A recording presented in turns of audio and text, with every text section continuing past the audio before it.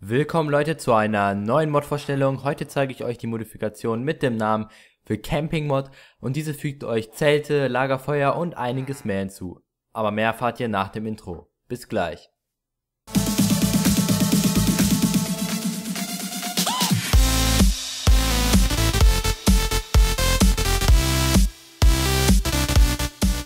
Gut, hier wären wir auch schon wieder. Ähm, ja, das ist eine wirklich sehr coole Modifikation. Kurze Information, ähm, die ist momentan auf der 1.8, also auf dieser spiele ich äh, die gerade.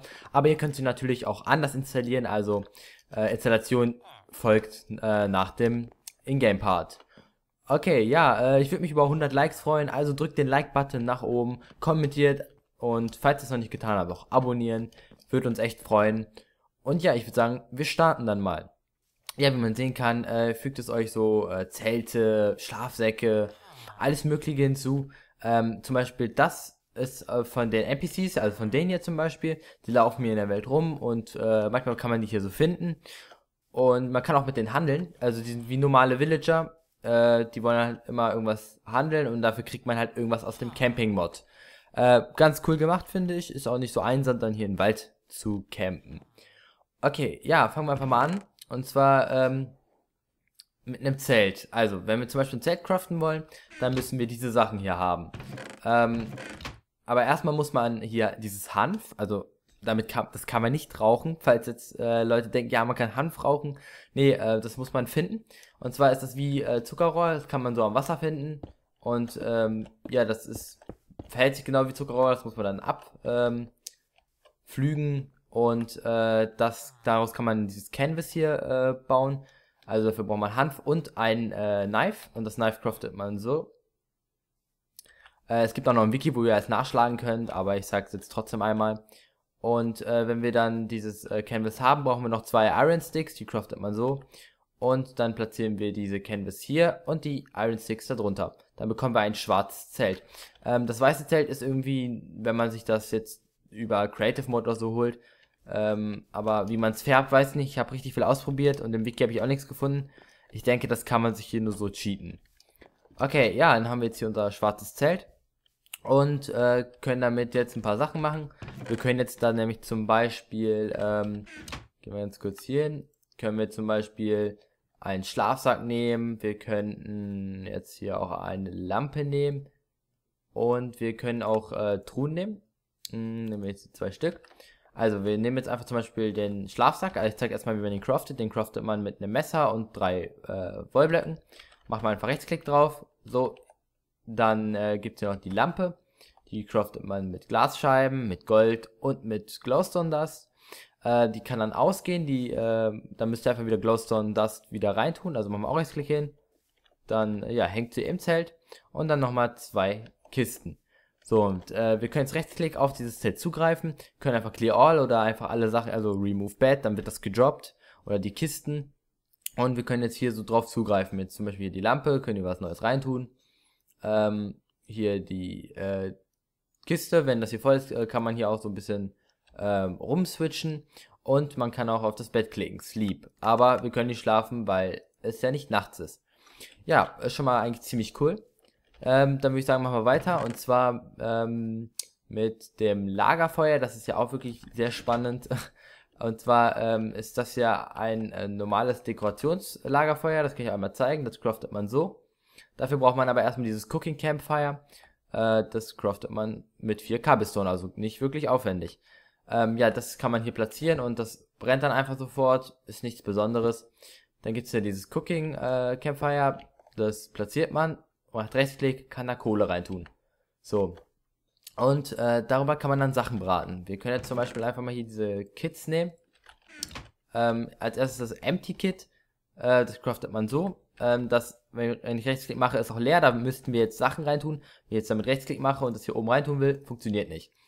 Und zwar müssen wir da zum Beispiel ähm, jetzt hier so äh, diese zwei Holzsticks und einen Iron Stick machen, reintun. Dann können wir das da oben reintun. Dann haben wir nämlich hier, so, äh, haben wir hier so ein zwei Brettteil. Also können wir hier Fisch zum Beispiel reintun. Ähm, dann tun wir mal zurück. Und dann können wir hier dieses hier, das geht schon mit drei, weil da ist was drin. Ähm, ja, so, so deutlich mehr Sticks und auch ein Eisengitter. Und dann noch zum letzten, das ist das Pan-Kit. Ähm, das craftet, äh, da tut man das hier rein, noch dieses Pan hier. Das craftet man so. Das können wir mal da rein tun. Und ja, wie man sehen kann, da passt richtig viel rein. Ja, ähm, wir können da jetzt einfach mal Fisch reintun. Wir holen uns jetzt einfach mal rohen Fisch. Zack. Und tun den, oh, äh, tun den hier einfach rein. Man kann die nicht stacken, wollte ich nur mal sagen. So, und jetzt müssen wir einfach warten, bis der Fisch halt äh, hier fertig ist. Wenn er zu lange drin bleibt, kann der verbrennen und Asche entsteht, aber das werden wir gleich bestimmt nochmal sehen. Okay, ähm, dann gibt es auch die Möglichkeit, dass wir uns... Ah, tun wir jetzt einfach mal alles hier rein, äh, dass wir uns Marshmallows machen. Marshmallows craftet man so, indem man hier Zucker an die Seite tut, Ei und Schüssel und dann mit Wasser. Und daraus können wir dann mit diesen Iron Sticks Marshmallow Sticks machen. Die craftet man so. Und die nehmen wir uns jetzt einfach mal. Und das Coole ist, wir können es jetzt einfach hier hinsetzen, das in der Hand halten. Einfach nur dahin gucken, einfach in der Nähe bleiben. Ja, komm. Vielleicht setzen wir uns einfach mal hin, weil eigentlich müsste der das so jetzt schon ähm, braten. Oder wir müssen einfach noch näher dran.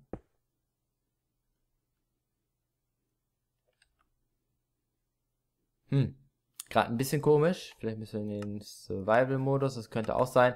Also ich hatte das vorhin einmal ausprobiert. Das hat eigentlich funktioniert. Ich weiß nicht, warum es jetzt nicht funktioniert. Äh, ja, ich würde sagen, wir probieren es einfach gleich nochmal. Okay, ähm, dann gibt es neue Tiere. So, die zeige ich jetzt auch einmal. Und zwar holen wir uns dafür ein Schwert und nehmen uns einfach mal die ganzen Spawn-Eier. So, als erstes äh, der Camper, den hatte ich ja gerade schon gezeigt, der verhält sich halt wie ein Villager. Ja, ganz normal, er jobbt halt einfach nur XP. Oder auch irgendwie nicht. Dann gibt es noch den ähm, Arctic Fox, der ist halt in Eisregion. Ja, äh, wirklich sehr scheu. Äh, der jobbt halt ähm, Fell, warte, oh. Ja, zeige ich euch gleich an der Kiste. Also der ist wirklich scheu, er rennt einfach weg. Und dann gibt es auch den Grizzlybären, der uns jagen möchte. Aber den töten wir mal. Alles klar. Ja, wie man merkt, der ist auch äh, ziemlich, also ziemlich viel AP. So, zack, und er hat uns jetzt dieses Raw ähm, Ven Venison gedroppt. Ja, genau. Und das können wir halt braten zu normalen Venison. Das, äh, der droppt uns auch hier dieses Brown Fur, also braunes Fell. Und der Arctic äh, Wolf, der droppt uns weißes Fell. Und daraus können wir dann halt diese ähm, coole Rüstung hier machen. Dafür brauchen wir halt immer alles gemischt. Äh, ja, die können wir uns jetzt einfach mal anziehen. Und wie man merkt, unser Sichtfeld hat, hat, sich schon geändert und wir sind etwas schneller. Ähm, ja, sieht auch wirklich sehr cool aus, so ein bisschen, so, weiß nicht, Eskimo-mäßig. Ich weiß, Eskimo, Eskimo darf man nicht mehr sagen, aber okay. Ähm, oh, scheiße, unser ganzer Fisch ist verbrannt. War zu lange drin, aber das meine ich. Jetzt haben wir hier Asche, damit können wir nichts machen. Ähm, okay. Dann ähm, gibt es noch diese Sachen hier, die wir ins Inventar tun können. Also ich hatte jetzt ja schon gezeigt, Lampe, das Messer, dann gibt es hier noch einen Rucksack, den craftet man so mit dem Canvas. Und es gibt äh, die Möglichkeit mit einer Karte, und zwar wenn man diese ganzen Sachen jetzt einfach hier in den Slot tut, also jeder Slot ist dafür halt gedacht. So, das bringt uns jetzt alles, äh, also alles so ein bisschen die Möglichkeiten, zum Beispiel die Karte, wie man oben rechts sieht, ähm, gibt uns jetzt so eine coole Minimap, das ist wirklich sehr, sehr cool. Leider sieht man den Rucksack nicht, wollte ich nur mal sagen. Ähm, ja, das äh, Knife gibt uns halt eine Crafting Bench. Ist auch wirklich sehr cool, wenn wir unterwegs sind. Ähm, und Backpack ist auch klar. Und dann gibt es hier noch ähm, hier so ein paar Einstellungssachen, aber das würde ich einfach lassen. Damit habe ich mich auch nicht befasst. Ja, und die Laterne bringt uns halt äh, im Dunkeln Licht, wie man sehen kann. Also wirklich sehr nützlich. Okay, ähm, dann gucken wir, was noch unsere Kiste so alles hat. Ja, jetzt kommen wir zur Bärenfalle. Die ist wirklich sehr nützlich. Die craftet man erstmal äh, mit diesen Iron Sticks und äh, äh, Eisenbarren in der Mitte. So, wenn wir jetzt reinlaufen würden, würden wir Damage kriegen und werden auch so vergiftet. Äh, der Bär natürlich auch, aber damit er auch wirklich reinläuft, kann man hier einfach einen Fisch reinlegen. Einen rohen Fisch. Ja, wie man sieht, äh, ja, ist da Fisch drin. Und ähm, wir werden jetzt einfach mal äh, einen Bären spawnen muss so ganz kurz gucken. Mhm. Grizzly Bear, da. Und äh, ja, der wird jetzt reinlaufen und er ist jetzt gefangen. Äh, wir könnten ihm jetzt auch Fisch geben, wenn er jetzt nicht sterben würde und dann wäre er nicht mehr aggressiv, also er würde uns nicht mehr angreifen. Okay, ähm, gucken wir noch. So, ja, dann haben wir eigentlich auch schon alles. Also ist eine wirklich sehr coole Modifikation. Außer natürlich, das haben wir noch nicht, ist mir gerade aufgefallen.